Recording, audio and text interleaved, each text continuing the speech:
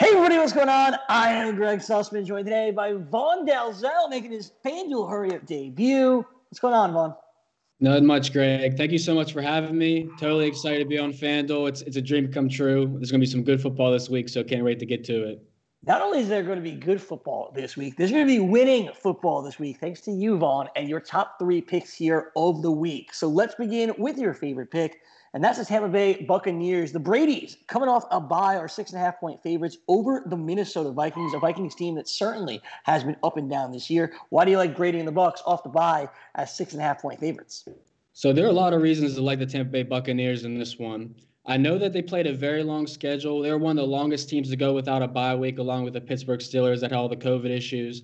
But Tampa Bay had a two game losing streak into the bye week, both three point losses to the Rams and the Chiefs, two very good teams, playoff teams right now. And Minnesota Vikings have had a lot of close games. The last four games have all been single digits for them. I'm not a firm believer in Kirk Cousins, even though I know he's been playing well.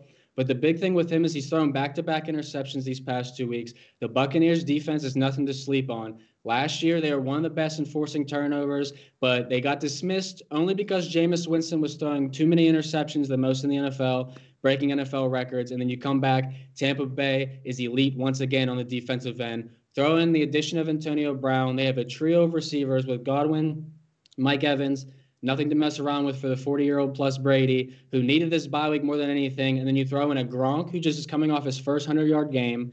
Very impressive. He had four or five touchdowns before the final two games where they lost.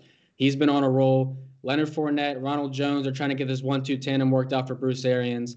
I like what I see from Tampa Bay. I know the two losses might impact some people, but this spread is probably going to move once game time comes around. And we can't forget Minnesota Vikings have allowed 24 plus points in their last three games. There are holes in the defense right now, and they also turn the ball over at an enormous rate. And you can check it up. You can look at all their numbers. It's um, it's it's worrisome when you're matching up against a defense of this Bucs caliber and they have a lot of guys sacks, fumbles, turnovers. So I like the Bucs to roll in this one. I'll take them by seven. I think Brady and the bunch gets back on, ta- on gets back on task with this week the Minnesota Vikings have been very on and off, very hot and cold throughout the season, really throughout Mike Zimmer's tenure here. And facing off against the Todd Bowles defense, as you mentioned, that's really, really been good overall for Tampa Bay. It's going to be a tough spot for Kirk Cousins. Brady the Bucs trying to make that playoff push. Same with the Vikings. It's a big game in the NFC. We'll see if the Bucs can get it done, and more importantly, get it done by at least seven. Up next, the team that everybody's talking about this week is the New York Giants. They went into Seattle and took care of business against the Seahawks, winning outright. Now they go home and are three point dogs at the Meadowlands against the Arizona Cardinals. And you're not taking the team that the public's all over in the New York Giants. You're going with the Cardinals as a three point road favorite. The Giants overrated or what? Man, I'll tell you now. Daniel Jones might come back in this one, and that's going to be an interesting aspect because if it does, the line will move right away. Um, probably in the Giants' favor a little bit, but I think once the public gets a hold of this near Sunday, the line is going to move from three and beyond. It could be fours or fives, but I like the Cardinals for a couple reasons. Now I know they peaked a little bit too early this season. They started off six and three through nine games, lost their four of last five. Um, they haven't been looking good since the Hail Mary, the Hail Murray, excuse me. But I still think that they're one of the best seven teams in the NFC right now. I think Cliff Kingsbury can get this team figured out. Now, the issue I have with the Giants is they're taking advantage of a week 2020 right now. I do know we all know that what the NFC East is looking like, but I think Daniel Jones coming back might have some question marks. They they had to hold him back from playing against Seattle and they held them down, but Russell Wilson hasn't looked the same since the beginning of the season. Um, Arizona themselves are a pretty decent team against the spread on the road. Nine against the spread wins in their last 15 games. Home dog Giants are not very good. Only three in their last 15 at home, as you would expect. I got to lean the Cardinals, the more talented team. I think this could be the game to light the fire under them and get back in the winning column and get ready for a postseason run. Uh, the Giants can definitely can can accept a loss here.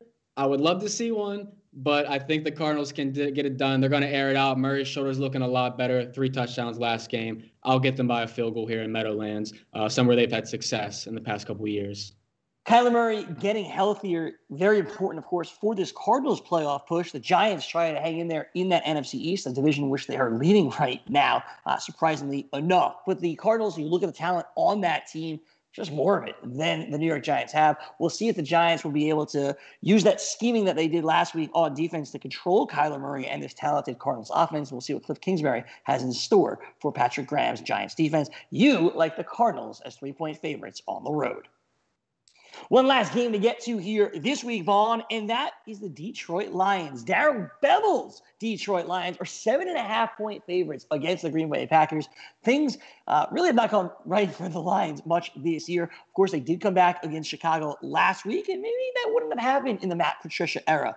But it did here with Darrell Bevell. I'm not saying Bevell's going to get the job, but looked a little bit better. We'll see if they get D'Andre Swift back here this week. They're seven and a half point dogs against the Packers team that is certainly headed toward the playoffs what makes you like a Lions team that doesn't really ever do well against Green Bay and Aaron Rodgers? So the interesting thing when I was looking at this game, the Lions haven't lost by more than seven points to the Packers since 2011.